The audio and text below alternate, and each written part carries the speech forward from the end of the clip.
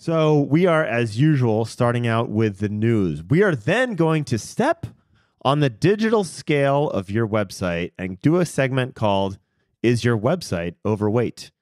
And this is really a response to what we have seen in the industry being a push to not reduce page count on websites. So, come back for our segment on Is Your Website Overweight? And then I'm looking forward to this one. We're going Tim the Toolman Taylor grew up and got a job as an SEO. What is in the digital marketing toolbox for Gyi and Conrad? And what makes the world go round? Welcome to Lunch Hour Legal Marketing, teaching you how to promote, market, and make fat stacks for your legal practice. Here on Legal Talk Network.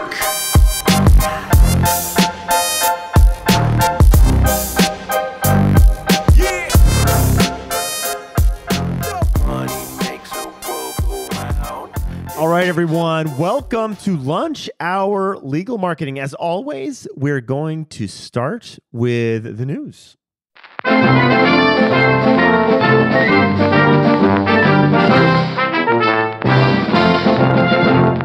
And back by popular demand, request from both Gyi and myself is the old timey news drop. Love it. Um, Gyi, Google I/O search results. What's happening? So I sat through some of Google I/O uh, yesterday. That's the uh, Google's developer conference. Uh, you can go check it out. I, I, encourage people to spend at least a little time checking it out, and we'll drop a link to uh, at least a couple relevant updates. But the big thing that uh, you know, they spent a lot of time talking about how awesome their technology is and multimodal, really? and showed some cool examples. Gem, it's a Gem, the Gemini era. It's very exciting. But you know, everybody's curious about what this impact on search is going to be. And I guess we're going to have to really, and they talk about it, and, and I, I don't want to uh, uh, cast aspersions or um, to be dismissive. They did say a few things about it, but the headline is is that they're rebranding search generative experiences as AI overviews. And you know, we've been ta- I've I've brought it up and I keep dragging Conrad into the SG stuff. Conrad's like, there's no SG results, and Conrad's right. Um, but they are saying that they're out in the wild now. Uh, the SEO chatter is still hasn't seen a ton of them yet. But as far as Google's concerned, the AI overviews are out there. And one of the big questions is, is do the AI overviews steal clicks, right? Is it zero click? Because, and there's been some illusions that it's actually increasing clicks. Users like these AI overviews and are clicking through to the websites. TBD, but I will tell you, as I've told you, you can go listen to our episodes. We've covered SG a couple different times, but monitor what's going on for relevant queries in your neck of the woods. So far in my neck of the woods, it's still mostly Forbes. And we would Forbes. Oh my gosh, you, Forbes you, is killing it in I SEO. I'm just telling you. Until you said Forbes, killing it.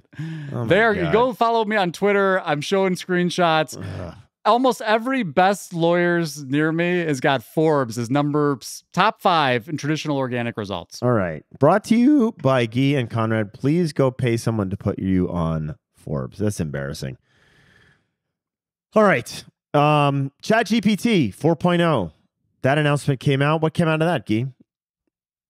Um, yeah, uh, similar to so this is this is it. We're in the AI wars here, right? Um, and we're going to be. I'm curious to see where Apple lives in all this, but um, OpenAI and uh, Microsoft partnered up and Bing, and um, you know, there are a bunch of new. There, so one, they're giving now this um, this Omni uh, multimodal uh, GPT away for free. So everybody's got access to the new 4.0 and uh, you can still have the paid subscriptions give you some more uh, i think that gives gives you api access and more um, usage uh, so to speak.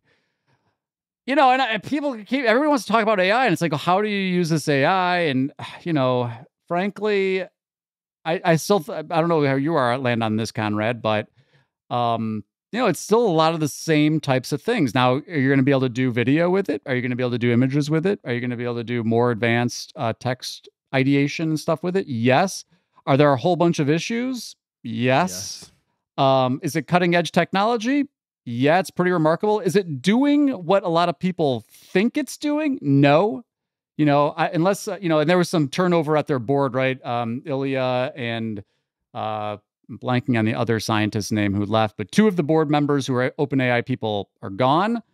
And there's some questions about why they left. And there's a new person on their uh, super alignment team, which is supposed to keep the AI from killing us. TBD, I guess, on that one. So can't hedge against the apocalypse. We'll let you know when that happens. You'll know. There'll be no more lunch hour legal marketing. All right. Speaking of the apocalypse, uh, local service ads. We have been bashing local service ads two episodes in a row, and we're going to make it three. Um, this, I think, is an underseen, un- underreported, underdiscussed, un- uh, unaware that through LSAs there is a functionality to contact multiple attorneys, which, as Gyi will tell you, is actually good for the consumer because now they're getting three or four different perspectives instead of just one.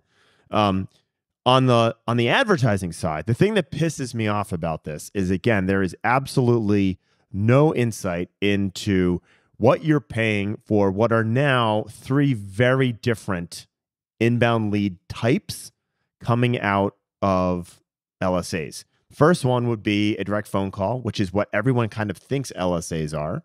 You're happy to pay for that phone call if it's a qualified lead. And if it's not, you can dispute it. Okay, fine. The second one is paying for that inbound for your brand, which should cost you a lot less. But as we discussed in our previous episode, we think is somewhere around 150 to 200 dollars per inbound for someone who's already looking for you, which is insane. But because they don't break these things out, you have no idea.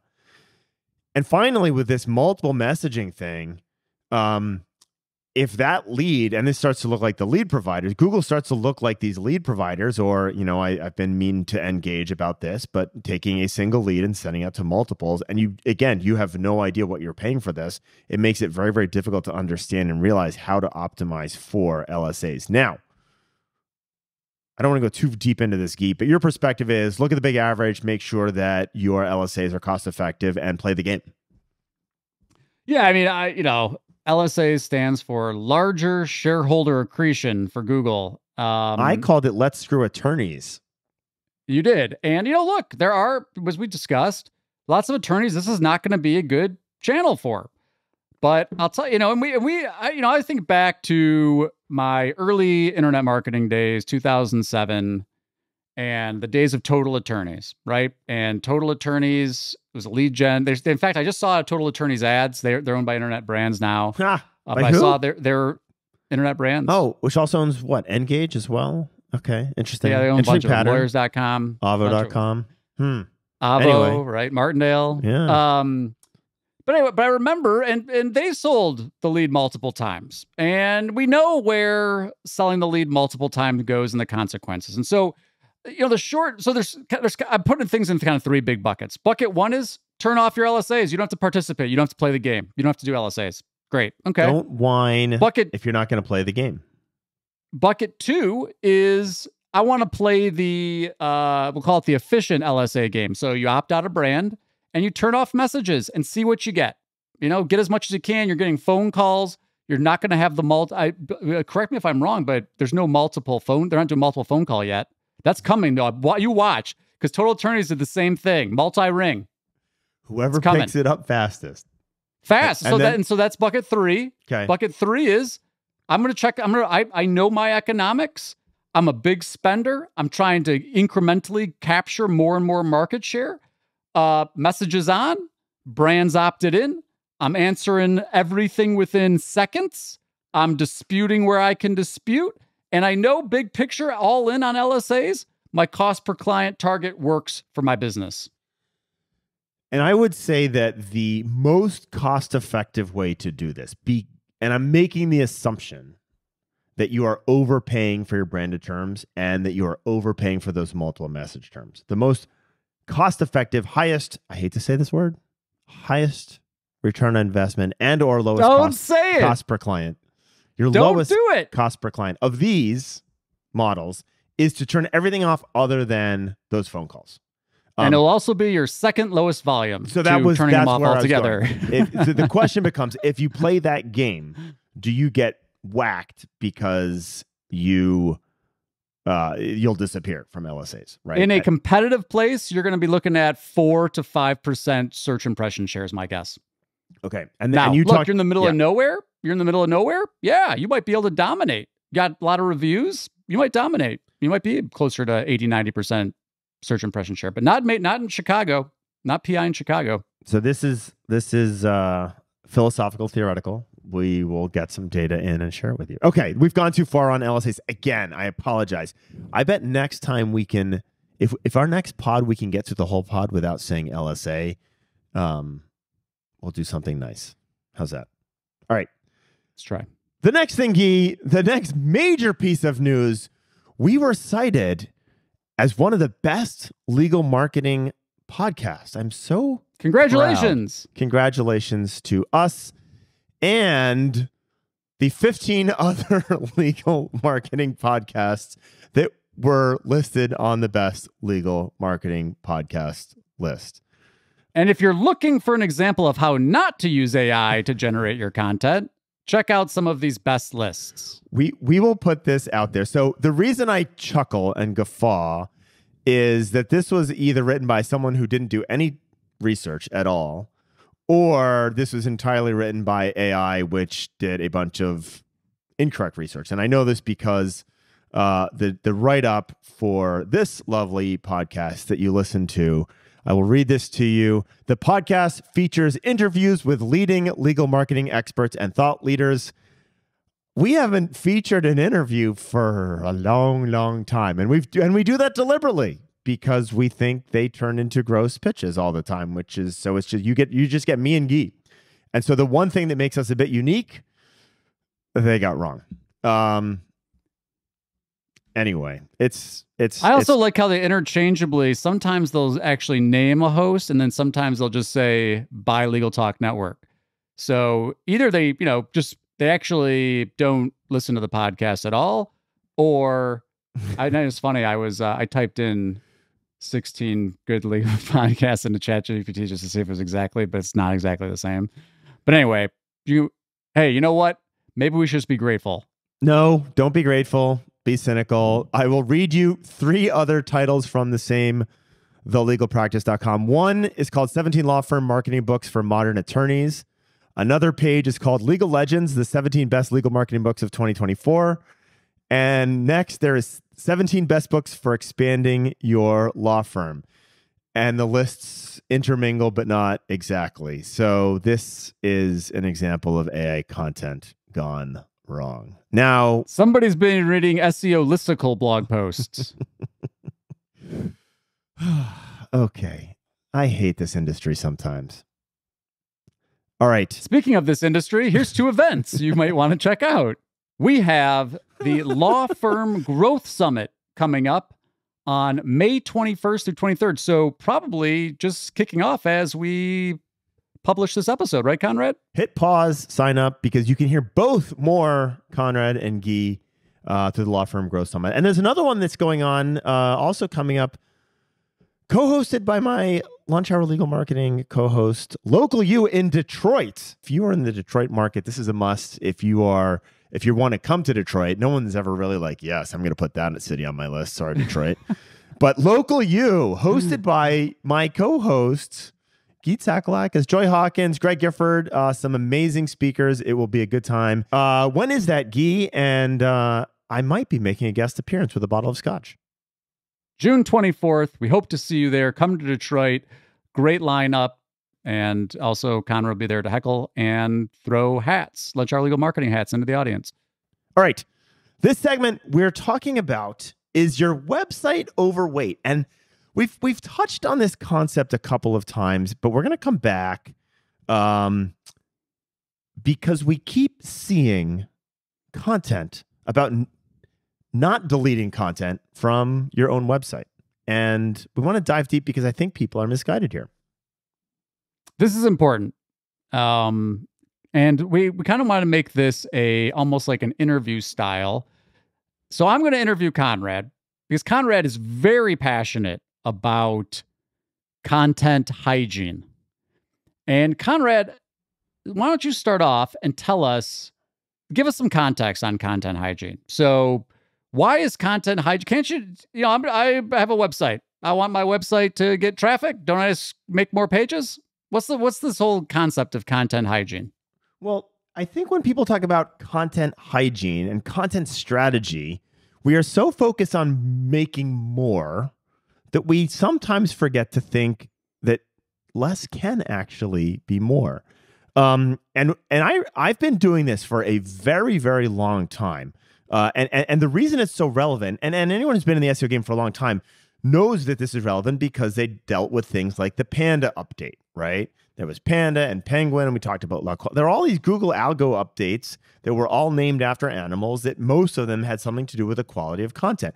And the issue was low quality content can have a site wide impact, which means if you have a, a garbage piece of content, it doesn't just hurt that page. That page just doesn't, it isn't going to not surface. It actually is a site wide negative impact. And I wrote two posts, and this goes back to 2016. So this is not this is not a new strategy that I believed in like as as a as a as a recent thing. It's something I've been doing for a very long time, but there's two posts on Search Engine Land called More Content, Less Traffic. And I, I do two case studies on this of how we took a website and deliberately dropped the page count and saw an, a change in traffic, but ultimately more important, a improvement in conversions. And by conversions, I mean contacts leads to a law firm. And that's what really matters, right? And so in many cases we we miss the boat and think about you know as SEOs our oh, more traffic is going to be better. There's more people we can retarget to. There's all sorts of things, but it's not really always the case. And I would argue it's not only not better, it can actually be deleterious to your site. Well, I, I think the two kind of points here that I don't want the audience to miss. You you're saying you got rid of pages, which that we're going to talk about how you decide to do that in a second. Traffic went down. And you said conversions went up, but you didn't just mean better conversion rate. You actually meant the volume, the number of conversions, the number of, I'm assuming you're talking qualified leads, quali- qualified uh, consultations. Yeah. That the volume of those actually went up as well. So this is really fascinating, but it makes sense if you think through some of the stupid content that people have put out there. Okay. And and, and by the way, this is gonna come across as a massively self-serving segment. Um so the usual. So it so the usual. No, but this is probably over the top because I think this is a counter perspective of what many SEOs believe and preach to their law firms. But I've got the data to back it up. And we just did this. We did this this at a I don't want to call this, this was probably an extreme example. I just posted a case study on this. This was a PI firm. We cut 77% of their pages. And what they have seen is a very, very small impact on traffic, but a tripling of their leads. So the only conjecture I can make from this, and I and I know the content that we struck. The only conjecture I can make from this, and this is not the only time we've done this, but this was the most extreme example. And again, it's a self serving thing, which is why we publish case studies about this stuff, like cherry pick the good things. But by getting rid of a bunch of content that really wasn't about I want to hire a lawyer right now, we have we have concentrated, improved the quality of the traffic that does show up, and they are now contacting the firm at a much greater rate. And that has been I mean, it's dramatic. Now, this took 12 months to work itself out. So it wasn't, it, this is not a flip the switch kind of thing. And it's taken time, but like it's really, we've gone from, I think it was a 2.2% conversion rate off of organic to almost 7%. Um, sorry, to, to like, like six and a half percent. Um, and, and, and it's just, it's just astonishing at, at, at, well, again, I, you know, I, this is the thing to me that is, we be, drive home this point it's not just that the conversion rate is better, because of course the conversion rate's better. You just got rid of a bunch of irrelevant traffic. So of course the conversion rate be- sure. went, went up. But the actual number of conversions, the actual number of the value metric, which by the way, you know, you just flippantly said that SEOs measure their performance by traffic, which is wrong, wrong, wrong, wrong, wrong. Sorry, bad SEOs, Uh, uh, how about bad I don't wanna marketing directors. bad. You know, uh, um, losing the forest for the trees. Maybe I don't know. Again, you're the, the a law firm is not the the performance objective for a law firm. The KPI for a law firm is not grow your website. It's And- not make your website bigger. It's not get traffic for more traffic's sake, right? I mean, you talk about um, the pizza law firm, right? I'll give They so start I'll- rank. Sh- Yeah, th- this is the the pizza. I've got, I'm going to use two very obvious examples for you guys because you guys think the content is the thing. We we have a client. It's in New York, and uh, sorry, non-client, but we did an audit of their site. Uh, they're in New York. They rank really well and get a lot of traffic for deep dish pizza because they've got content about deep dish pizza restaurants in and around Manhattan. Why? What? Why did? Why would you think that that is going Especially to be? because New York pizza is not deep dish. it may be it may be content on deep dish first. You're you're going you're going the Chicago New ah, right, York whatever, yeah. argument, it wouldn't matter either way.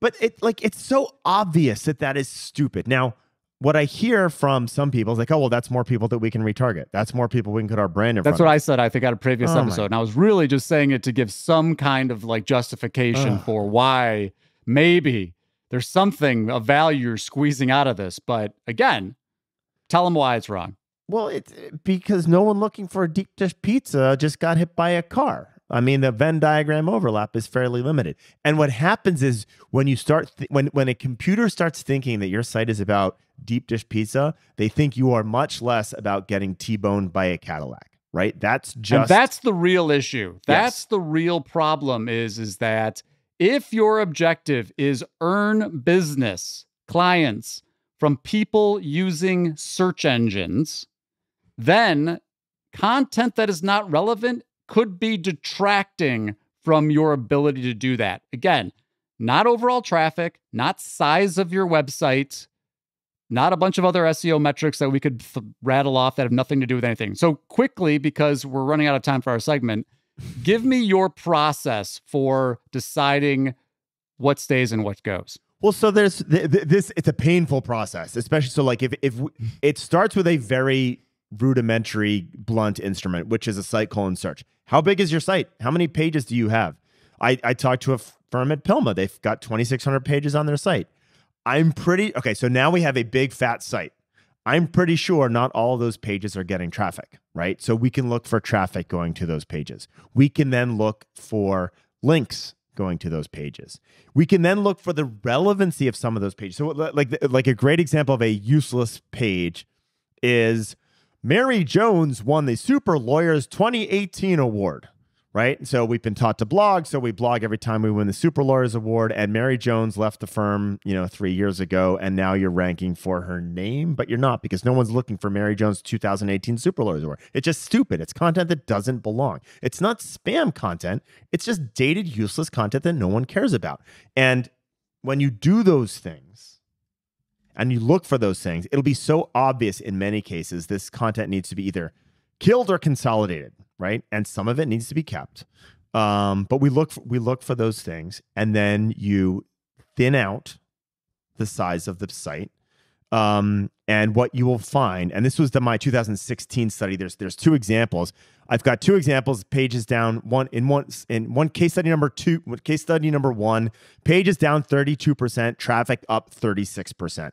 The other one is pages down 63%, traffic up 61%. So it's all, I mean, it's it's, it's almost depending on how bad the site is, you can look at a an increase in traffic by getting rid of some of the garbage.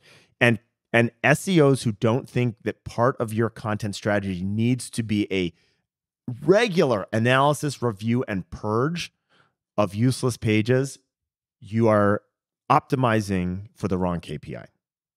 And if you don't believe Conrad, I'm going to read directly from Google's search developer documentation. Removing unhelpful content might contribute to your other pages performing better. That's Google, not Conrad. So take it or leave it. And with that, let's take a break. And now, review from Todd Verweer, the man in Texas who has the best law firm logo that represents Texas. Check it out. It's a good one. All right, here's from Todd. I appreciate the thought and advice provided, along with the willingness to say, sorry, I missed that one. Too often, digital marketing companies will use less than accurate headlines, blurbs, or tactics to promise rankings and a gazillion dollars. It is refreshing to hear folks talk about things from a substantive standpoint, not a superficial one, and by willing to disagree with each other, yet respect each other's opinions. Now, if you will just show up at ClioCon in Austin this year, we can enjoy some Tex Mex barbecue or maybe some Texas whiskey. I am all three. Uh, Clio has amazingly been really dragging their feet at um, naming the speakers for ClioCon. I hope to be there. I hope to be. I'll be there. And I just got the email saying I will not be speaking. You will not be speaking. I didn't get the email no. saying I'm not be speaking, so maybe, maybe I will speaking. be speaking. Good luck. All Good right. Luck.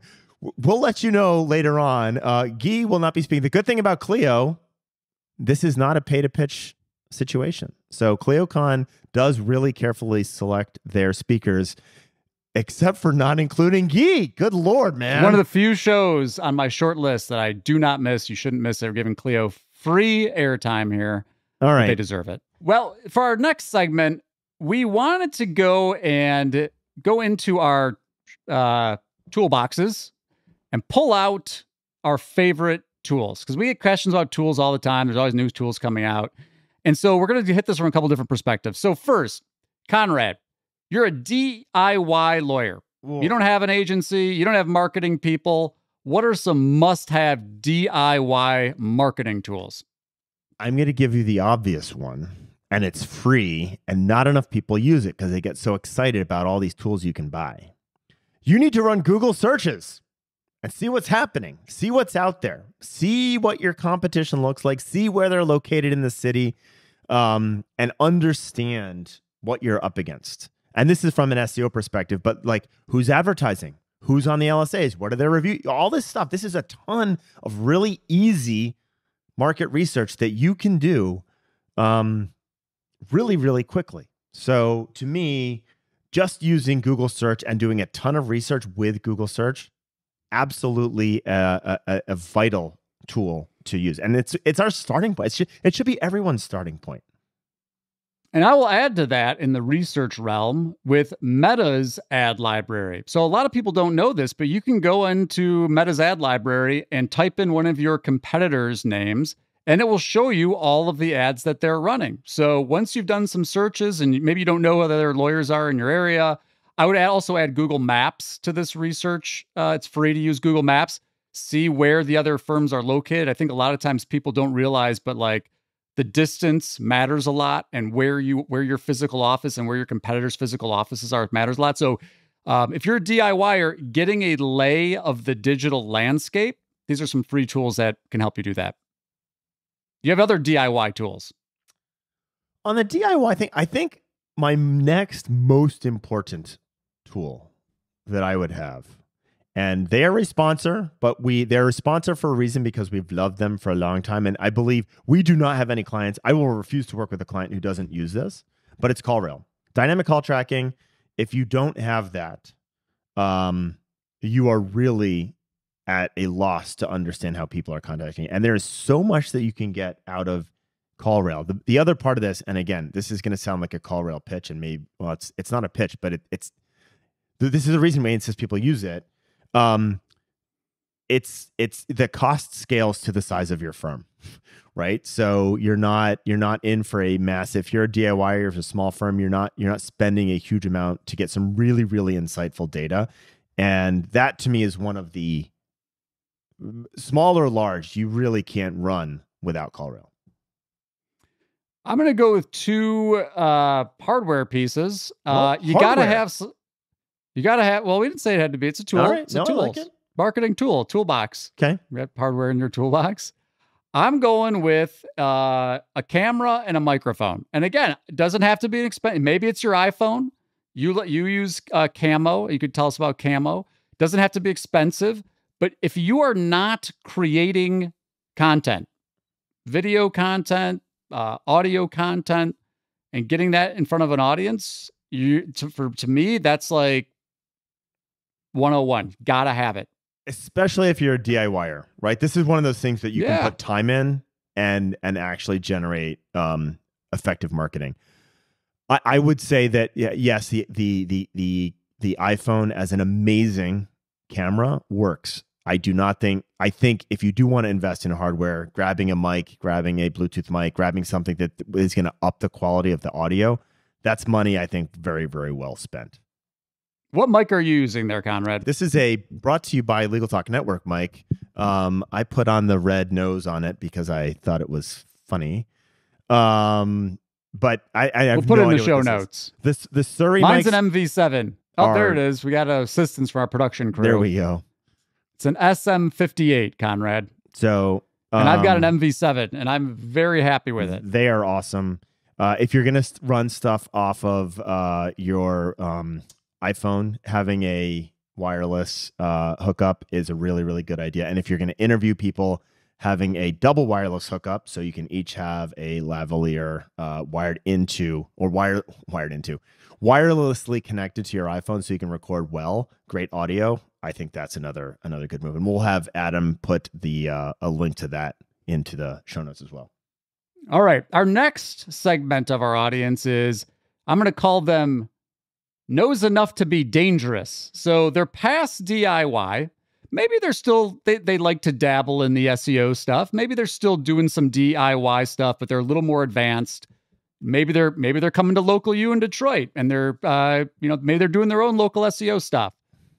What kind of tools do these folks need, Conrad? if you are doing your own local SEO stuff, you must be using a tool like Local Falcon. There's another competitor that came out. I don't even know what it is because we've just used Local Falcon from the get go. But Local Falcon helps you understand how you rank from a local perspective based on the distance from the searcher or from your office, essentially. And so that is a really, really important tool.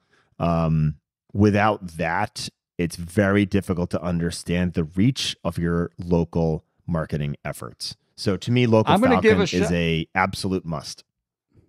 So we we use Local Falcon. We also use BrightLocal, and one of the uh, things that we like about BrightLocal in particular is that it also has a local finder in addition to the pack. It'll show you where you're in the finder. So um, you know when you click through the local pack and there's additional businesses, it, and that's really good for leading indicators. Like, are you moving in the right direction, moving up uh, Yeah. the finder? And um, I'm also going to give a shout to Whitespark's uh, local rank tracking tool. Really, really good. And you know, again, different different tools, different functions and features, different price points. Um, and finally, Places Scout. Places Scout, I say, is probably a little bit more on the advanced end. Uh, but all of these are great local SEO tools, which again, if you're in local SERPs and you're you're kind of in between doing it yourself or working with an agency, gotta have these. Also, really important for, as I mentioned, holding people accountable, like you're actually moving in the right direction. Yeah. What else you got, Conrad? So I think at this point, the the intermediate level, you you need to start thinking about intake management software and CRM, right? So what's your matter management software you're probably running, but you need to be thinking about intake management software. One of my favorite products is Clio Grow. It's a really good product for law firms in kind of that intermediate phase. If you want to get into intake management software, uh, that is a great place to start. Um, there are some others. There are a lot of others uh, that you can also look at, but uh, Clio Grow was originally called Lexicata, um, and it was designed and built to be fairly easy to use. Um, we also work with Lawmatics, right? They are uh, a sponsor of the Legal Marketing Podcast, Lunch Hour Legal Marketing Podcast. Um, but there are others, and there's some industry specific things. I would caution if you intend to aggressive, if you are a PI firm intending to aggressively grow over time, now might be a great time to bite the bullet and get the expensive, um, either Salesforce based um, intake management software, um, uh, Litify, uh, Lead Docket, etc. Th- this this might be a good time to to to bite that bullet before you think you need to. And I'm going to go at intermediate level. I'm going to say you need a link index tool. You need Ooh. Ahrefs, Okay. or you need SEMrush, or you need Moz. Um, I just think if you're if you really want to play ball and you're not you're past DIY and you want to start playing digital marketing ball, you got to have one of those. And um, there's again features. If you're looking for something that that is more holistic across different channels, I probably go with SEMrush. Although I love Ahrefs, Um, I think that SEMrush is a little bit more comprehensive in what they're delivering. Um, but I, I don't see how you can start to move in from DIY to intermediate without understanding some more uh, tracking, com- competitive analysis, um, links, of course. Uh, that's just my take. All right. Final segment. Well, because we're almost out of time. You're advanced. You're maybe you're a marketing director at a law firm or you're a SEO lead at a bigger law firm. What do you what's your must-haves? Or what are you looking for when you're auditing other agencies? Screaming Frog. Easy. Screaming Frog. If you are not playing Screaming, Screaming Frog, Frog, could probably go in all three of those buckets. I think that a, a, an, a beginner DIYer would drown in Screaming Frog. Okay, fair. There's, I mean, basic it's site technical. crawl. It's, you, you, for basic site crawl stuff, yeah. it- Okay, it- fair. it's the last two buckets, intermediate to advanced. it, it's it's screaming. If you're not running Screaming Frog, you're not really an SEO. I hate to be that flippant, Boom. but like, come on. Um, there it is. so Affordable too, Screaming Frog. Yeah, if you have less than 500 pages, which we just already talked about, having an overweight website. If you have if you have 500 pages or, or fewer, um, it is technically correct to say fewer than less instead of less because that is a countable number. Um, Screaming Frog's free, so go grab that and, and learn it. Like the Screaming Frog is one of those things that you can spend a lot of time learning a lot about your own website, and there's plenty of tutorials on how to use it. But like, if you want to get nerdy with your own site, um, that's the full body scan. Yeah, that's a. Uh, I think, and I'm going to ask you this question since we are really out of time now. If you had to just have one, what would you take? If I had to have one tool, CallRail. Wow. Um, Uh, because I'll add this because it can record inbounds and you guys are blowing. We've talked about intake all the time. You it, it enables you to do that. So I can not only see there's automation involved in in CallRail, there is reporting and channel like effectiveness of your channels. Uh, it's that's it's in CallRail, and there's the monitoring and management of your intake, which is where the football gets fumbled all the time. I'm taking camera and mic. Camera and mic. All right. No camera, no mic. You can't mark it. All right.